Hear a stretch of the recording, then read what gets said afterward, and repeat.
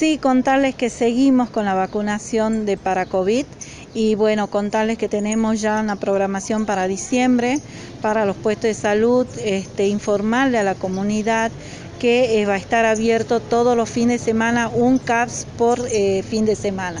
Eh, la atención va a ser el agente sanitario que realiza la vacunación de COVID y el enfermero que va a estar para alguna asistencia. ¿sí? Capaz que recién la comunidad se está adaptando a estas atenciones que antes no la teníamos. ¿sí? Los, eh, nos recordemos que los fines de semana siempre los CAPS, los puestos de salud estaban cerrados.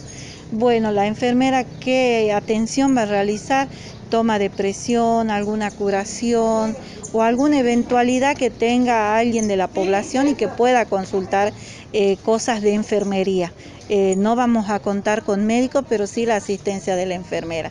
Así que bueno, contarles, yo tengo acá una programación eh, tenemos de diciembre, el 4 de diciembre va a estar el SIC 25 de mayo realizando la vacunación con el agente sanitario, atención de 8 a 14 horas. Y va a estar la enfermera es también eh, ese día.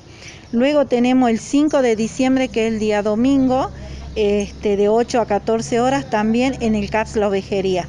Luego continuamos el 11 que, de diciembre, que es día sábado, Cablo Lapacho todo el horario es de 8 a 14, ¿sí?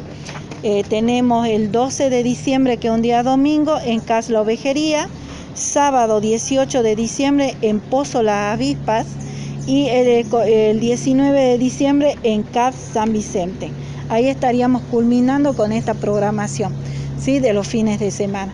Decirle a la población que por favor este, siga concurriendo, tenemos todavía un porcentaje alto todavía de eh, gente que no se aplicó la vacunita del COVID. Así que instarlo a que, pueda rever la situación, ver de que pueda estar vacunado. Y bueno, seguimos con las medidas preventivas, usando el barbico, el alcohol en gel, el distanciamiento. Este, por el momento estamos así.